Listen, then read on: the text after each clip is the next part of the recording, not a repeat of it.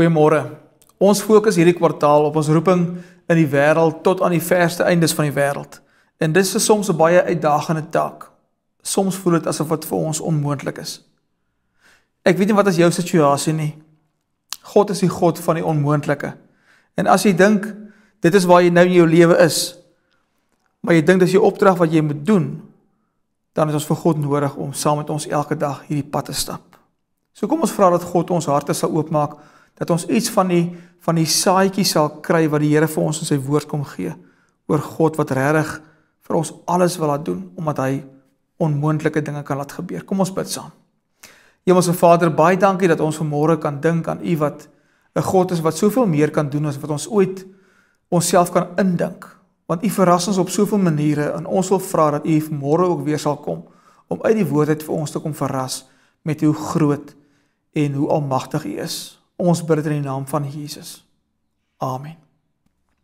Ek weet nie of jy ooit iets in jou lewe beleef het wat jy na dit gesê het dit was eintlik onmoontlik geweest nie. Miskien iemand wat jy op 'n vreemde plek raak geloop het. Ehm um, en jy kom agter dis net te groot om toevallig te wees. Waarskynlik is daar 'n verskil tussen ehm um, iets wat onwaarskynlik is en iets wat onmoontlik is. 'n Swak rugby span ehm uh, gaan onwaarskynlik 'n beter rugby span wen. Of iemand wat siek is, gaan onwaarskynlik genees word in sekere omstandighede.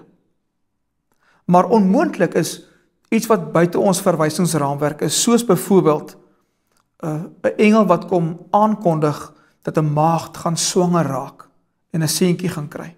En dan staan daar geskrywe in die Bybel niks is vir God onmoontlik nie.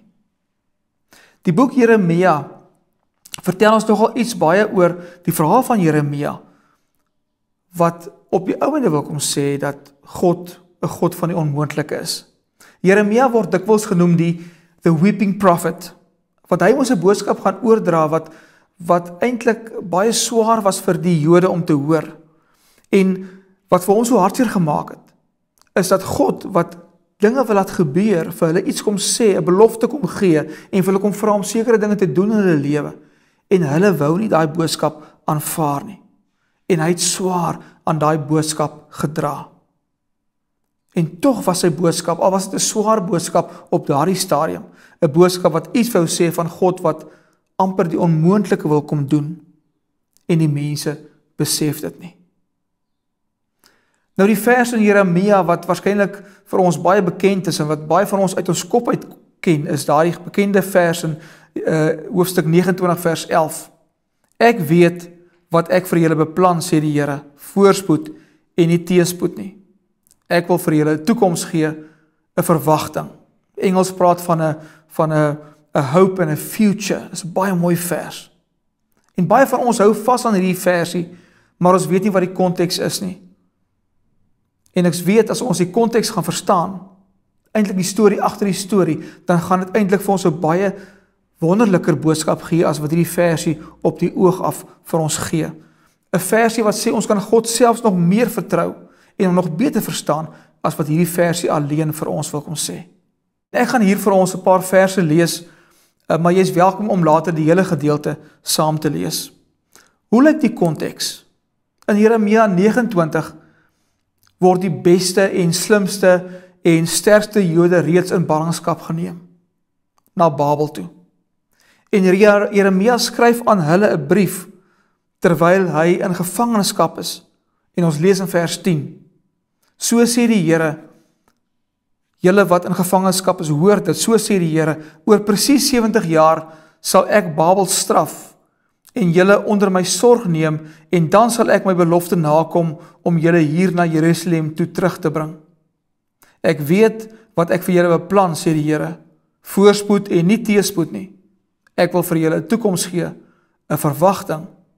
Dan sal julle my aanroep tot my kom bid en ek sal julle gebede verhoor.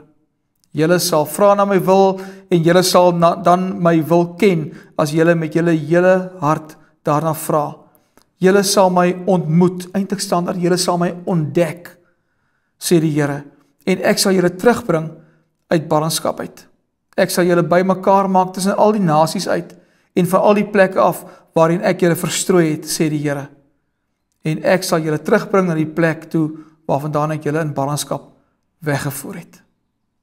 So die konteks van Jeremia 29 is die Here wat die onmoontlike kan doen. Hy is nie 'n God wat sommer al die swaar wegvat van jou af nie. Hy is nie 'n God wat jou kom uithaal sodat daar niks met jou gebeur nie. Dis nie 'n bumper sticker waar jy kan sê Jeremia 29 vers 11 is 'n belofte van voorspoed en dit gaan altyd net so goed met my gaan nie. Dis nie 'n maklike oplossing nie. Hierdie versie kom sê dat die Here met ons besig is in ons gebroke wêreld. In die gebroke dinge wat ek en jy ervaar, in die verliese wat ons het.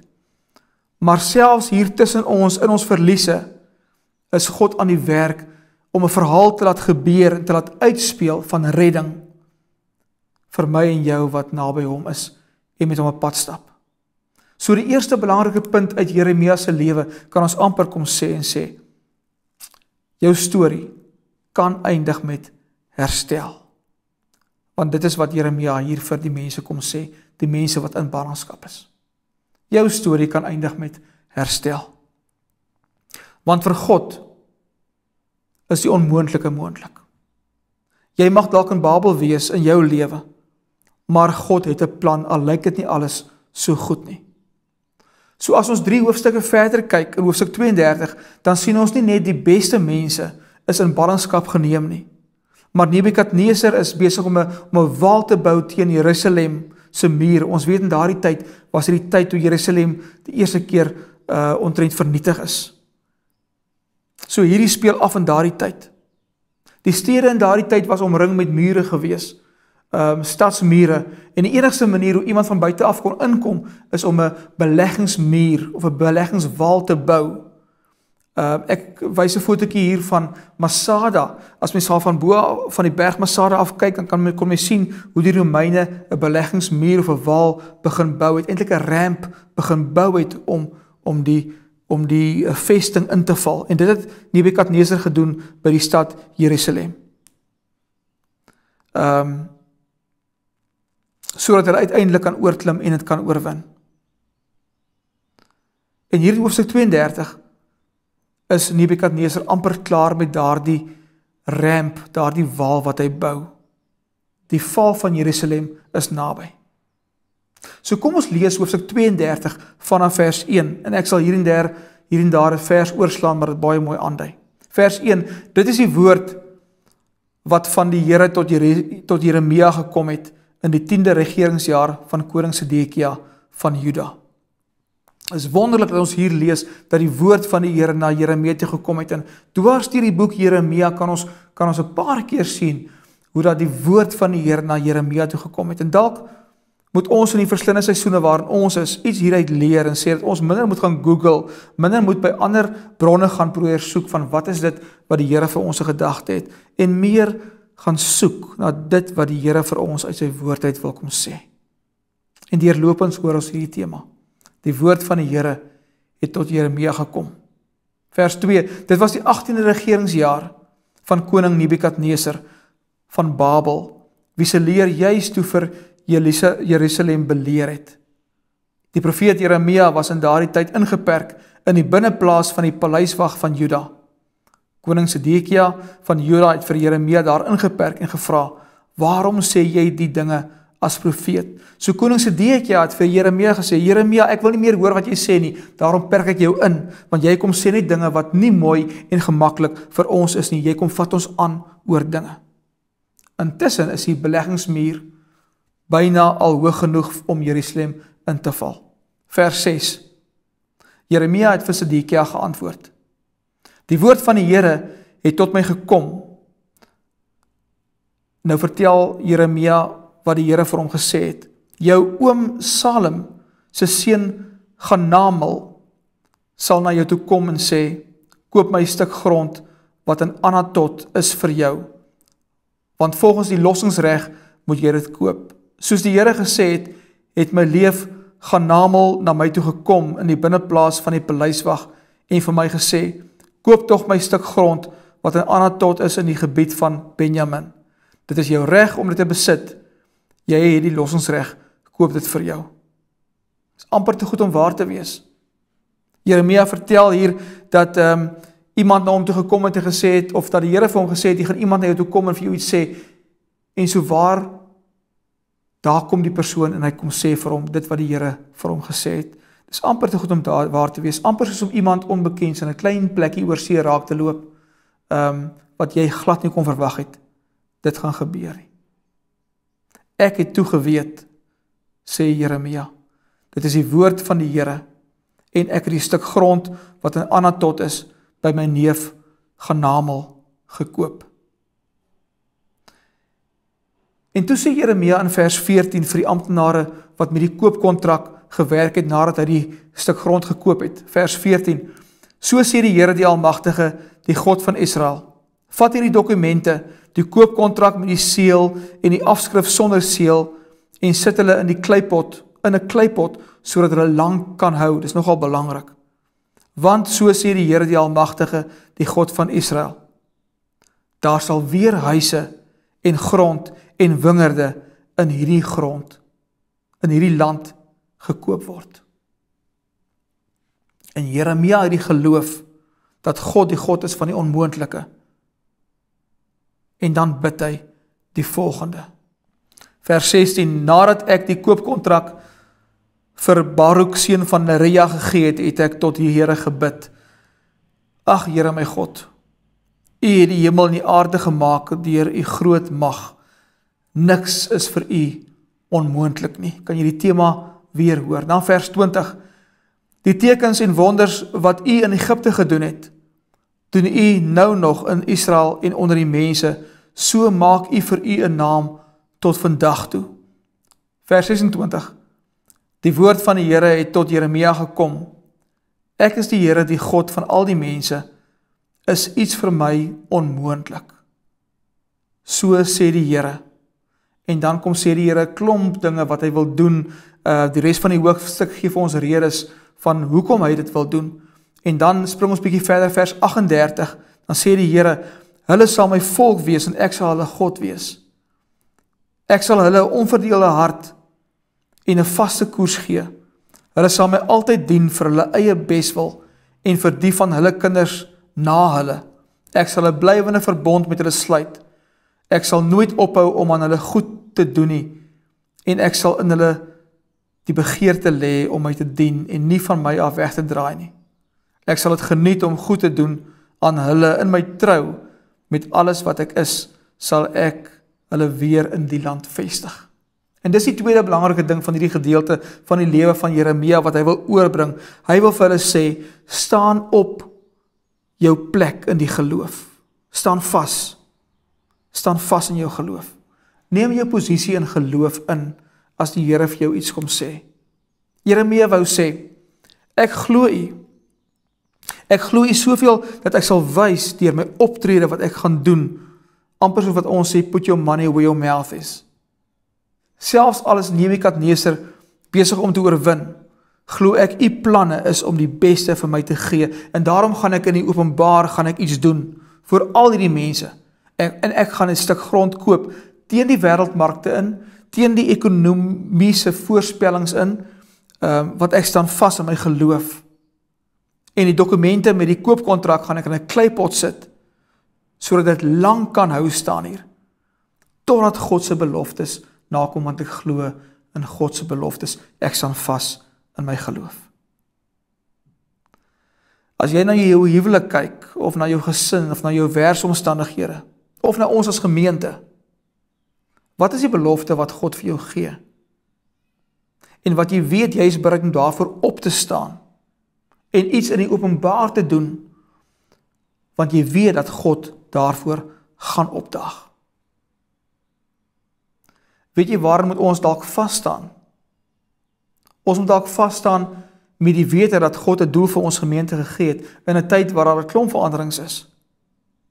Ons moet glo dat God sal vas staan met sy belofte dat hy mense gee met gawes wat ons nodig het. En ons het baie mense nodig, baie gawes nodig in ons gemeente sodat ons as 'n volledige liggaam kan funksioneer. Maar dan moet ek en jy bereid wees om soos Jeremia vas te staan in ons geloof.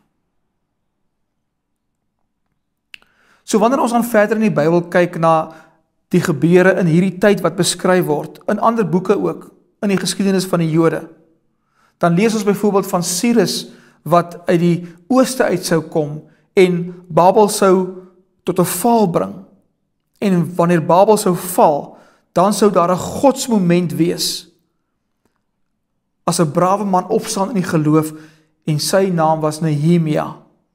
En hy sou vrygelaat word met die visie om 'n muur van Jerusalem wat met Nebukadneser se inval afgebreek is om daai muur op te bou. En mense sou begin terugkeer na Jerusalem en die stad sou begin lewe en God sou weer in Sion geprys word. En op die ou ende sou Christus 'n paar kilometer verder in Bethlehem gebore word. En na 30 jaar van sy lewe terugkom na dieselfde stad Jerusalem toe. Om te doen wat vir mense onmoontlik was, maar vir God moontlik is. En dit is om vir sy lewe vir ander mense te gee. Waar Babel en die manskappe op die punt was om op die wal te klim en Jerusalem af te breek. Op daardie plek sou Jesus omtrent 6 eeue later 'n wonderwerk doen as hy sy lewe gee as 'n offer vir alle mense se sondes. Ook die sondes wat die Jode in ballingskap geplaas het oorspronklik. Maar ook vir dit wat ek en jy vandag doen wat teen die wil van die Here is. Want niks is vir God onmoontlik nie. In hierdie stad, Jerusalem, sou die graf van Jesus later oopgaan en Jesus sou opgestaan het. En in hierdie stad sou die Gees uitgestort word. En gelukkig het Jeremia in 'n kleipot 'n koopkontrak gehad waarin hy sê ek glo dat God gaan doen wat hy gesê het hy gaan doen uit vasgestaan aan sy geloof. Jou storie kan eindig in 'n herstel verhaal. En dis wat op God se hart is. En ek en jy moet vas staan op die beloftes van dit wat God sê jy kan daarin kan jy vashou. 'n Derde ding is baie interessant. Ons lees dat Anatot die plek was waar die grond was wat Jeremia by sy oom gekoop het. Nou waar was Anatot gewees. Geografies is Anatot so 3 km noordoos van Jerusalem geleë op die heuwels van Judea. Maar histories was dit die plek waar Jeremia self ook gebore is. So hy koop die plek van sy geboorte. En nou kan jy vra maar hoekom is dit belangrik as ons dink oor God wat die onmoontlike kan doen?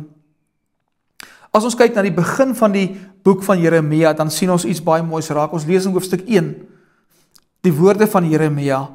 Hy was 'n seun van Gilkia en 'n priester uit Anatot in Bethlehem. En dan vers 4. Die woord van die Here het tot my gekom voordat ek jou in jou moeder skoot gevorm het. Het ek jou geken voordat jy gebore is, het ek my in jou gewy en jou as profeet vir die nasies aangestel. En Jeremia antwoord in vers 6: Ag Here my God, het ek geantwoord, ek kan nie goed praat nie, ek is nog te jonk. Toe sê die Here vir my, jy moenie sê ek is te jonk nie. Jy moet gaan na wie toe ek jou ook al stuur. En alles wat ek jou beveel om te sê, moet jy sê. Moenie vir hulle bang wees nie, want ek is by jou, ek sal jou red. Dit is wat die Here gesê het. Hy het sy hand uitgesteek, my mond aangeraak en vir my gesê, ek het nou my woorde in jou mond gelê.